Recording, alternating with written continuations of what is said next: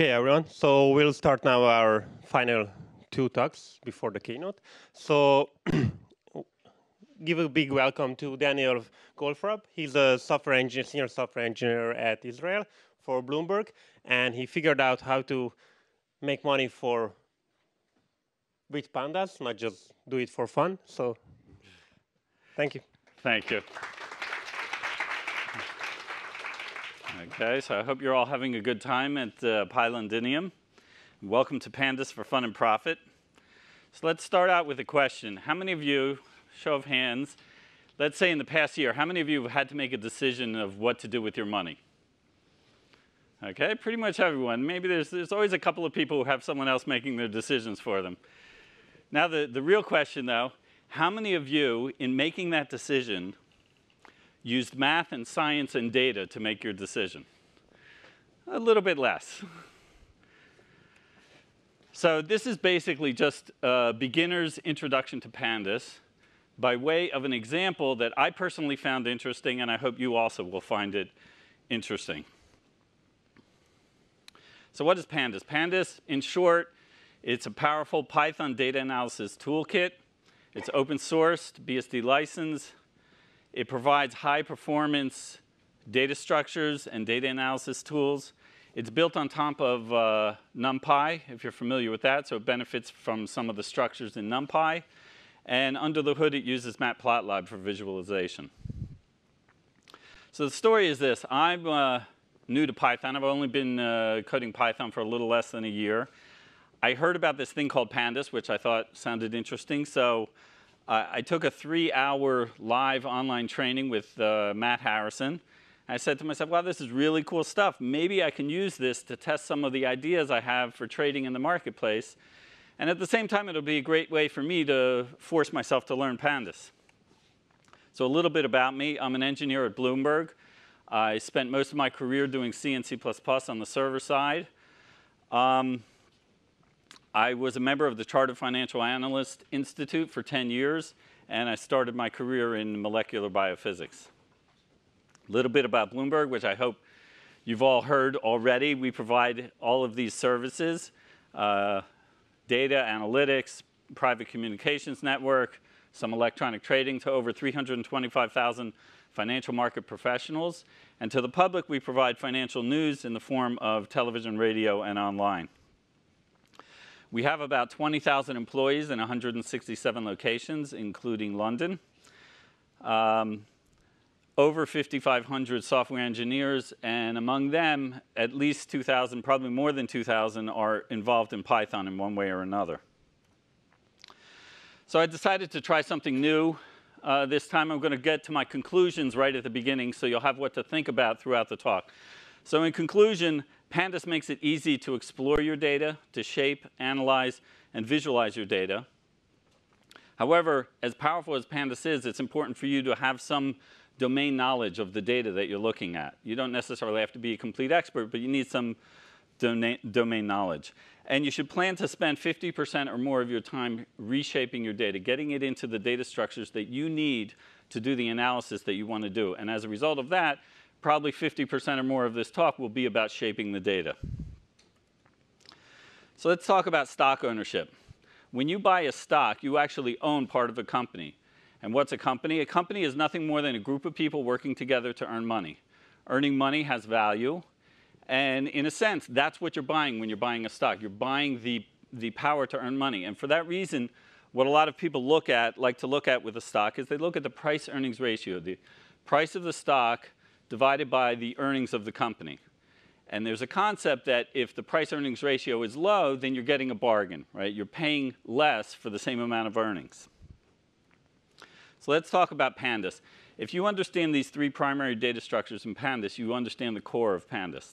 They are the index or multi-index, series, and a data frame. So what's in a pandas index? It's just a list of keys. It's essentially a hash table. You can think of it as a Python dictionary. A series is a list of data that has an index. So you can access that data by key. So here are the parts of a series. You have your values. You have your index. In this case, the index are date objects. You have a name for your index, a name for your series, and a series data type. Those are all the parts of a series object. So what can you do with the series? Well, I can take the length of a series and see how much data I have in there. I can access the data by key or by position. Here's an example accessing the data by key. I put, it, put in the date and I get the data back for that particular date. Or accessing it by position, I put in the position in this series and I get back the data. So a data frame, excuse me. Data frame is, you can think of as a two-dimensional spreadsheet, has rows and columns. Each column is a pandas series, each row is a pandas series. So here are the parts of the data frame. Again, you have your data values, your index, index name, and now you have columns because it's two-dimensional. Notice if I take a look at the index attribute on a data frame, I get back an index object which contains a list of the keys in that index.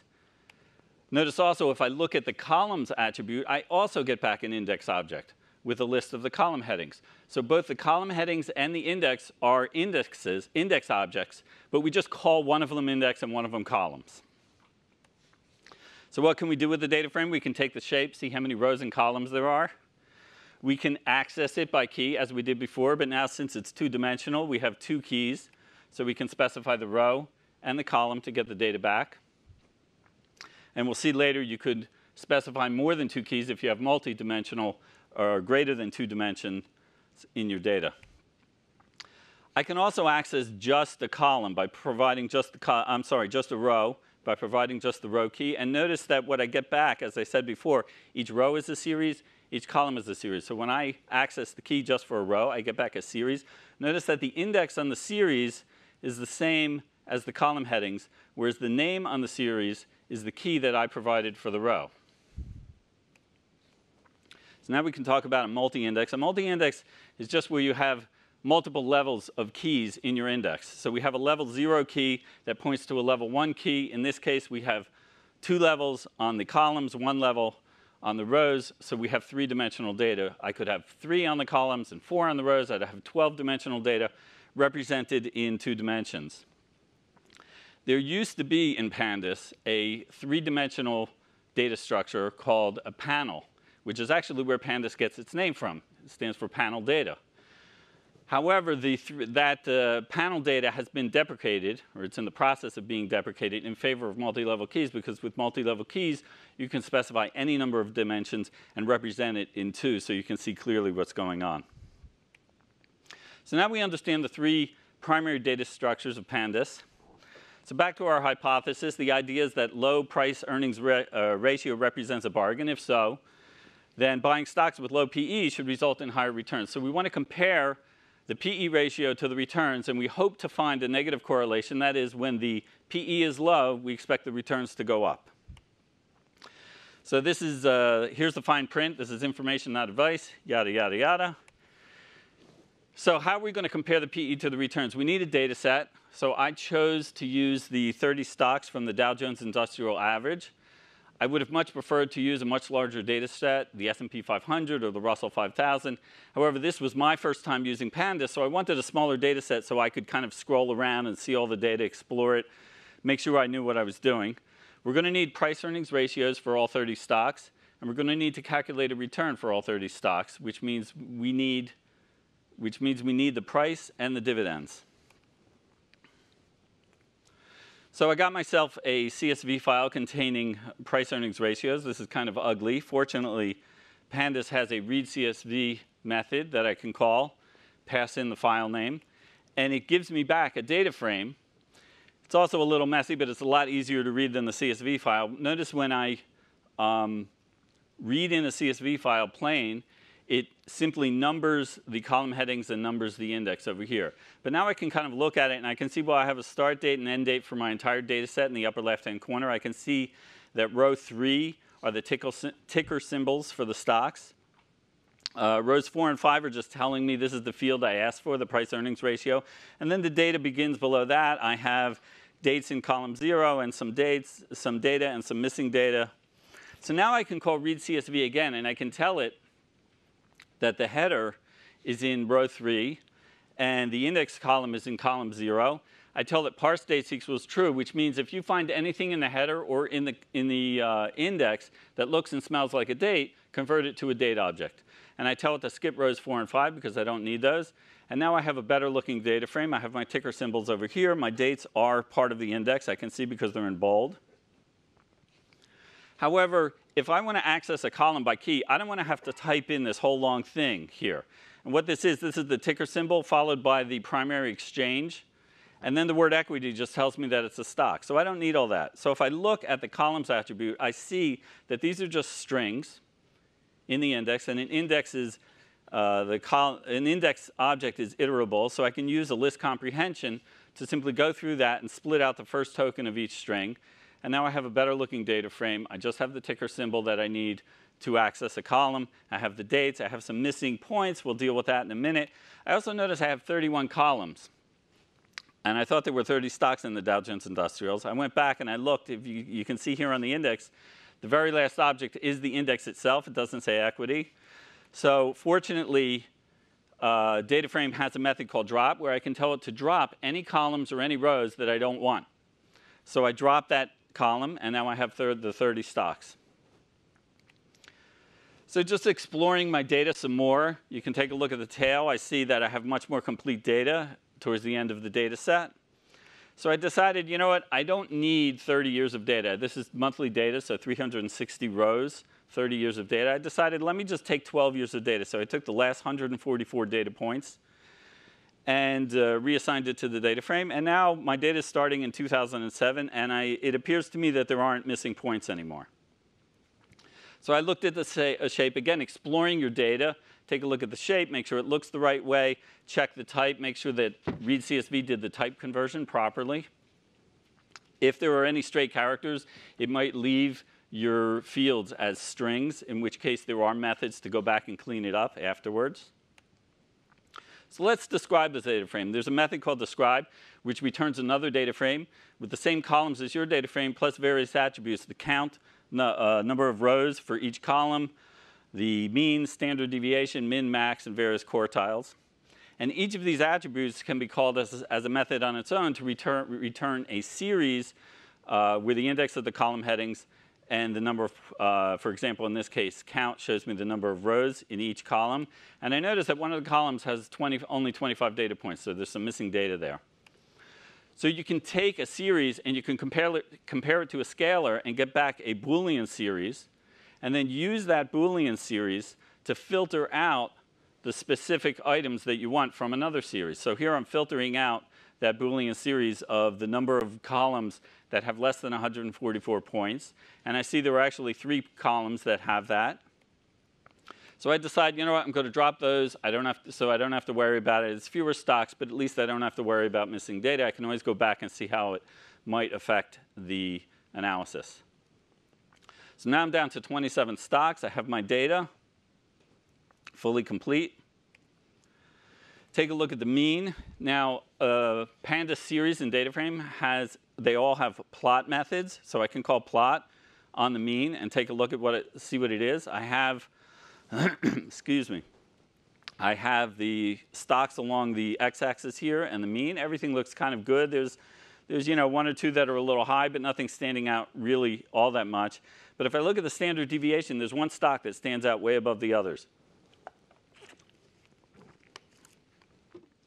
So I decided to plot the PE ratio for that one stock, and I see back in 2017 it shot through the roof. Now what can happen a, when a company uh, reports their earnings, typically quarterly, occasionally they have a loss and they get negative earnings. That's not what's happening here. If you get negative earnings, we don't calculate a PE ratio.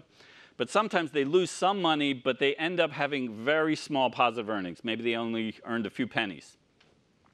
So that's actually what's happening here, and it put, makes the PE ratio go through the roof somewhat artificially. And again, I decided, well, I don't want to include that in my analysis, so I called drop, got rid of that column. Now I'm down to 26 stocks, but the standard deviation looks good. I don't see anything standing out. Uh, among the stocks, I have uh, what seems to me a reasonable data set. So how am I going to define low PE? Well, it makes sense that what really matters is in relation to the other stocks. So I define low PE as a PE that's significantly lower than the average for the entire market. And one way to measure that is the number of standard deviations above or below the mean. And in statistics, we call this a z-score, value minus mean over standard deviation. So I pulled out the mean and the standard deviation, put them in the data frame on their own, and I plotted it just to make sure, again, exploring my data, make sure it looks good. Standard deviation is less than the mean, I like that. And it's moving around and nothing's standing out uh, particularly uh, strange.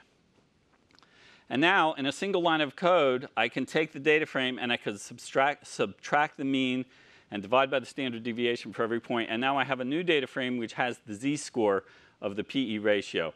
We can see over here in 2007, Apple stock uh, had a PE ratio more than two and a half standard deviations above the mean for the market. Caterpillar here was a little bit more than one standard deviation below the market. So just for fun, I took a look at the max and min of the standard of the z-scores, PE ratio z-scores, and I plotted it. Again, it looks kind of normal to me. I like exploring my data, to see what it looks like. Now we need to calculate returns. So we can relate the returns to the z-score, where return is final value divided by starting value minus 1. And if I want to do returns for different periods of times, I might want to annualize it. So I can use this formula. The important thing to note here is that the final value is the final price plus any dividends that were earned during the period over which I'm calculating return. So I read in my CSV file for the prices, looks similar to uh, the PE ratio one. I had the same issues. I cleaned it up. And now I'd really like it to be the same shape as the other data frame. So I have the same number of points, the same 12 years, the same 26 stocks. And I could try to remember which stocks did I drop and so forth. But what I can actually do to make it simple is I can pull the dates out of the PE data frame and use them to slice the pricing data frame and also take the columns from the PE data frame and use that to select the columns from the uh, pricing data frame. And now the two data frames are the same size and shape. What about the dividends? What shape should they be? It's very good to know what shape you want your data to be in before you read it in. So the issue with dividends is that they're typically paid quarterly, but it's sparse data, so it's not necessarily going to line up with the same 144 by 26 data frame. So I decided, based on the fact that the way I need to use my dividends is while I'm calculating return, I need to look up any dividends that may have been paid during that return period, and I want to calculate returns for one month, three months, six months, and so forth. So I decided to store my dividends as a dictionary, where the key is the stock ticker symbol, and the value is a series of the dividends. So I got a CSV file for the dividends, and I noticed that each stock had nine columns in the file. And I looked through the columns and figured out that the ticker symbol was in the first column, nothing else in that column, and I have a date column, which is when the dividend was paid, and an amount column. So I wrote myself a little loop going through nine columns at a time, going through the data frame, pulling out the ticker symbol, pulling out the index, and then creating a series and placing it into my dictionary based on uh, keyed by ticker symbol. So now I have dictionary keys, ticker symbol, and I have a series of dividends being paid. This is just me testing my idea that I can then key into it by stock ticker symbol and date range, and then sum up the result and get the dividends that were paid during that period of time. So now I'm ready to do the return calculation for the various periods that I mentioned before. What I'm going to do is I'm going to go to each date, find the date that corresponds to that period of time, three months later, six months later, get the price from that period, and then grab the dividends and add it in to the return calculation and do that for every date that I have. So when I do that, I can't, there is no method to call, to calculate a return on a data frame. Like there's a mean, I can calculate the mean or the standard deviation. However, there is a method for a data frame called apply where I can write any function that I want and it will apply that function to either every column or every row depending what I ask it to do. So in this case, I'm going column by column, calculating the returns for each stock. And when you do that, the important thing to note here is that the apply method will pass into my function as the first argument either the column or the row that it's applying it to. So I get the prices for a given stock, and I can go through and grab the dividends and calculate the return. So I call apply, I get a data frame of returns that corresponds to my data frame of uh, PE ratios. But how do I know if my return is high or low? Well, if your friend comes to you and says, I bought this stock and six, six months ago and it earned 15%, how do, if the entire market earned 25%, your friend didn't do so good. But if your friend comes to you and says, I bought this stock uh, six months ago and it earned only 1%, but the whole market tanked and went negative 10%, then your friend did pretty good. So again, we want the z-score. We want to compare it to the mean for the market on every date. And then calculate the correlations. So I did that, and here's one example of one stock where I have down here, you can see the uh, PE z-score, and you can see when it's going below zero, the returns are indeed going above uh, zero. So it's starting to look pretty good for me. Um, they say a picture's worth a thousand words, but there's strength in numbers. So let's look at the actual numbers. There's a method called corr on a series where I can pass in another series and calculate the correlation. I went through, I wrote a method where I could define the length of time I was correlating. In this example I'm showing, I'm doing the entire 144 months. And I took all five return periods that I wanted to do calculate times the 26 stocks, that's 130 correlations. And on average, the mean correlation was negative, which is good, but it's only slightly negative. So I started worrying maybe my low P investment strategy won't work. So I started poking around at the data. I looked at some of the positive. Here I am filtering for positive correlations, which are the ones that are going against my hypothesis. Here I'm filtering for negative correlations. And I noticed that with the negative correlations, they tended to correlate with the longer uh, return periods. So, so much for getting rich quick, but it still might work if I decide that I'm going to take P low PE investments in stocks that have a history of negative correlation between the PE and the return. So here's the test plan. Buy all the stocks, buy the stocks with low PE, that was my original hypothesis, or buy stocks with low PE and a negative correlation between PE and return. That's my new hypothesis. So I need a period of time that I calculate the return. It could be five years, I'm sorry, that I calculate the correlation, five years, four years, and so, uh, and so forth. I need a gap to calculate the return before I actually make a trade. So for example, two-year returns, the latest correlation that I can calculate has to be two years before the trade date because otherwise I'm using a price in the future. And if I could predict the future, there'd be no point for this whole analysis. But once I set that up, I can then go through a whole bunch of dates and do that. So that's what I did. I took the three trading strategies, held each investment for two years, from January 2014 to, 2014 to January 2017, uh, in the data, not in real life. I didn't actually spend my money on this yet.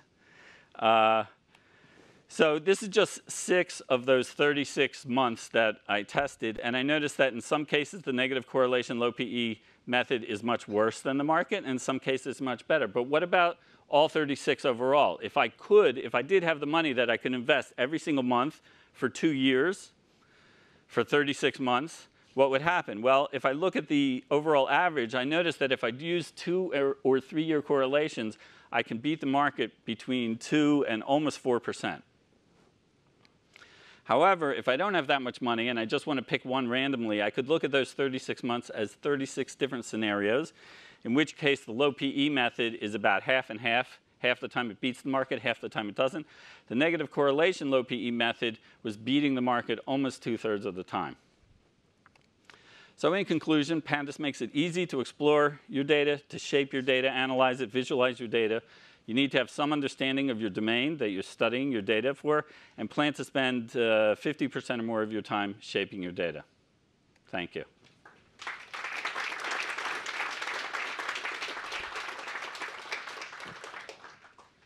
Okay, any questions?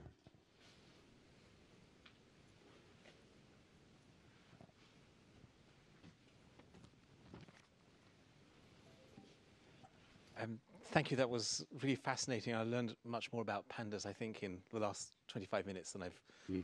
have in the last three and a half years. Glad to hear. Thank you. Are you planning to put this, put your money where your pandas are? Uh, it's a good question.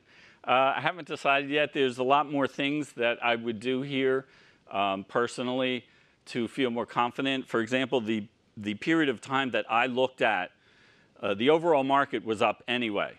I would like to see if the method also works during a period of time when the overall market is down, if it still beats the market. Because it could, it, this could be just exaggerating the market, right? In which case, when the market is down, I could do a lot worse than the market. I don't know until I try that test, so I haven't done it yet. May I have, may I have a follow-up question? Yeah. Um, you started with a hypothesis, and then you refined it on Yes. the basis of how it matched the data, and so you might continue refining it. Um, but then, would you be in danger of simply making your hypothesis fit the data that you happen to have and not actually fit the mechanics or, or what's really underlying what's making those numbers come out as they are. You're, you're, you're just making your data fit the pattern so you think that you've got a perfect match, but that's Well, obviously no y- guide- yes and no. That's why I say you have to understand your uh, your domain a little bit.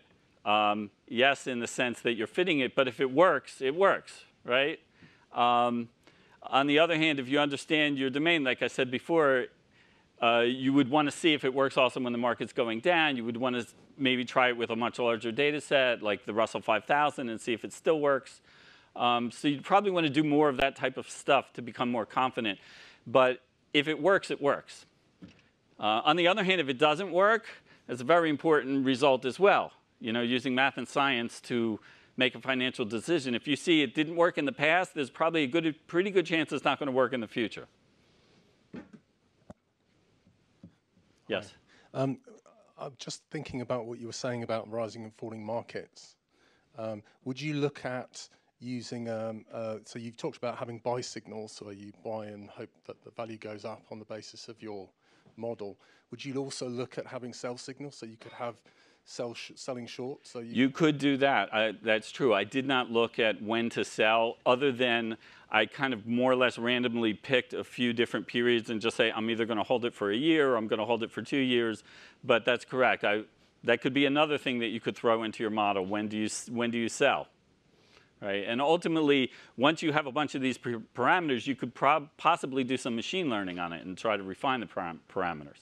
You know, this is just a basic uh, analysis to kind of demonstrate what pandas can do. Okay, that's all the questions we have for now. But Daniel's going to be around, so make sure to follow up on him directly. So yeah, thank you very much. Thank you.